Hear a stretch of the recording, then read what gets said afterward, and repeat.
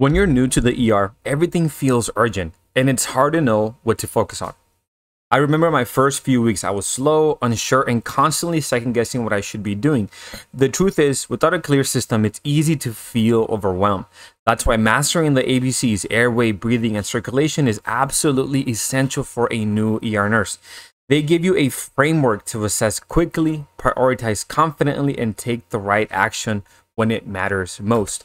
So in this video, I'm going to break down how to assess and intervene for each part of the ABCs, giving you real world emergency nursing tips and helping you build a strong foundation. Let's get into airway. We'll first discuss assessments, then interventions. As we know, the air we breathe follows a specific path in order to get into the lungs. So when we talk about the airway, we are talking about that path. What we want to know is if this path, the airway, is it patent, meaning it's clear and open, or is it obstructed, or is there a possibility that it may become obstructed? Now, to put it simply, if the patient is speaking, the airway is intact at that moment. Your follow up question is if it's going to stay intact. Is there any chance that it may become obstructed? But again, if your patient is speaking, the airway is intact. Now, let's continue our assessment. We need to look and listen as well as determine if the patient can handle their own airway. Now, what do I mean by handle their own airway? If they started vomiting or had increasing secretions, could they handle them without assistant or would they choke? A quick reason for why a patient could not handle their own airway would be decreased mentation. Let's continue the assessment. Do you see any visible edema or swelling to the lips and tongue? Any abnormalities to the neck or perhaps any facial trauma?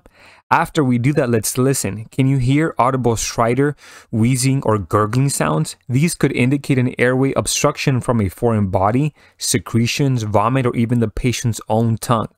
Now let's look inside. Is there obvious foreign body, visible blood, secretions, or vomit? Does anything look abnormal?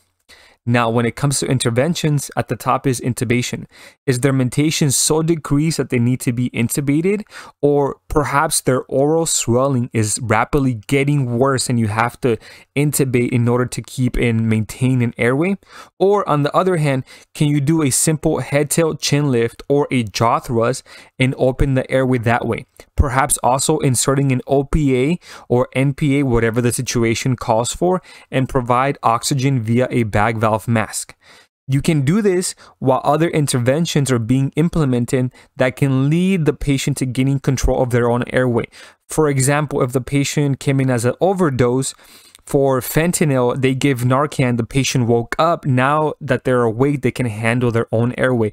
Or perhaps the patient was hypoglycemic. You gave dextrose, and the patient woke up and they gain control of their of their own airway. Let's continue. Does the patient have any vomit, blood, or secretions that need to be suctioned? That's why it's important that we have suction available so that when it comes to assessing the airway, we can suction things out if needed. And also remember to never perform blind sweeps because you can push a foreign body deeper in.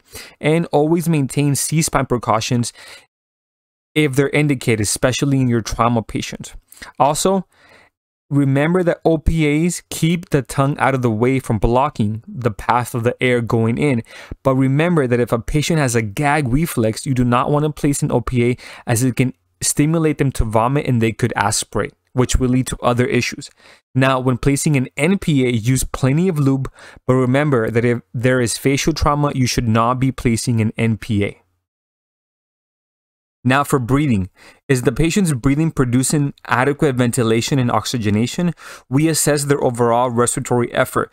Do we see chest rise and fall? Is it symmetrical? Is their breathing nice and effortless or is it fast and labored? Is it deep or shallow? Is it slow? Is it too slow or perhaps it's too fast? Perhaps they are tripoding. So overall, does it look like they are in respiratory distress? Then a key important piece of information is the pulse oximetry. How is the pulse oximetry? Is it low? Do we need to address it by giving oxygen? And then remember to auscultate. Do we hear good air movement bilaterally? Did you pick up any wheezing, rhonchi, or crackles? But again, most importantly, did you hear air movement when you auscultated the patient's lungs? Please note that if a patient's respiratory effort is increased and labored, but there is minimal air movement on auscultation, you need to act quick because there is probably minimal oxygenation and ventilation occurring. Also note that labored breathing takes up a lot of energy and it cannot be maintained. So keep an eye out for these patients, especially when they can't even get a word out. Also note and also note to palpate for possible broken ribs.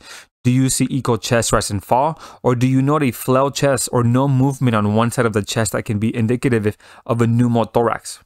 Also, how does the, the stat bedside chest x-ray look?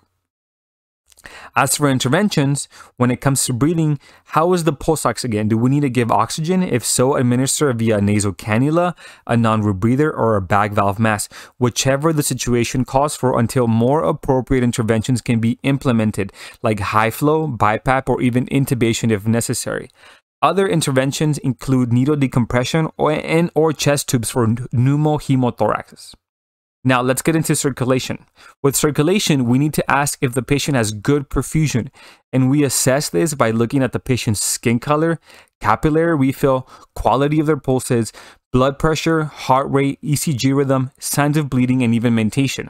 For example, if the patient is awake and alert and speaking in complete sentences, we can assume they are getting adequate perfusion to their brain. On the other hand, if your patient's blood pressure is low, the heart rate is high, cap refill is delayed, and the pulses are weak, the patient may be in shock and in need of immediate interventions.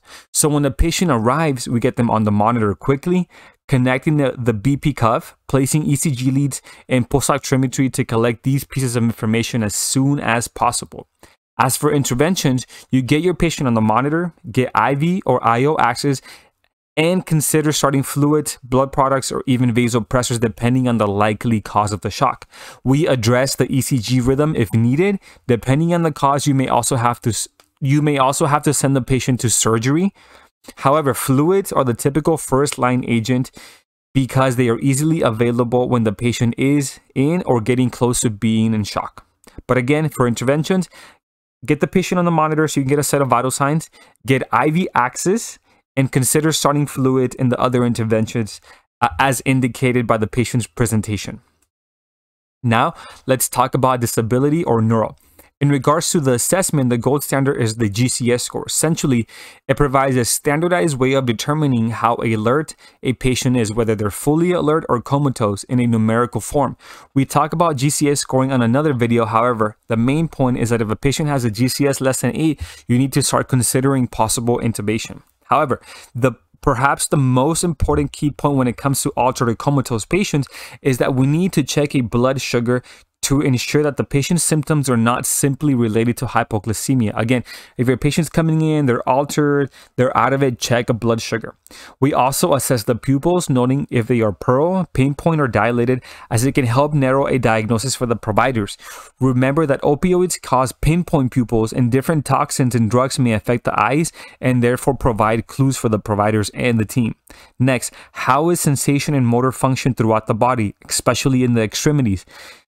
Are the grips equal on both sides? Can they push pull without any issues? Is pedal flexion and extension equal on both sides? Can they lift all extremities without issues against resistance? Is the patient speaking clearly? Are they alert, oriented to person, location, time, and situation?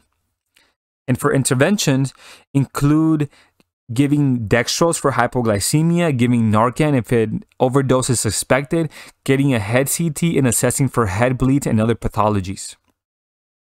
When it comes to exposure slash environment, we have to fully expose the patient when warranted to ensure nothing was missed. Of course, you must keep patient privacy, but you want to ensure that nothing gets missed, like a gunshot or a stab wound that you didn't see, or needle marks, or even perhaps an abscess that may be the cause of why the patient is so sick. We also decontaminate when needed and we check the patient's temperature as well. And finally, don't forget to warm your patients unless indicated.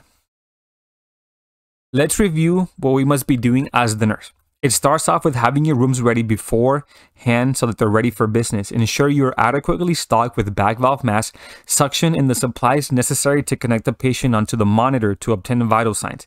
Is the POC glucose machine ready to go? Do you have IV poles and pumps readily available? Ensure the adequate staff members that need to be called are there. This includes RT, your providers, surgery or trauma teams, and additional staff when more assistance is necessary. Get the patient on the monitor, place IV access, draw labs, and begin, res- begin resuscitating as ordered. Coordinate with CT and X-ray as needed. Coordinate with the OR as indicated. Ensure you talk to the blood bank, the blood bank if needed. Man the crash cart. If your patient gets intubated, you know they're gonna need sedation medications, a Foley, an OG tube.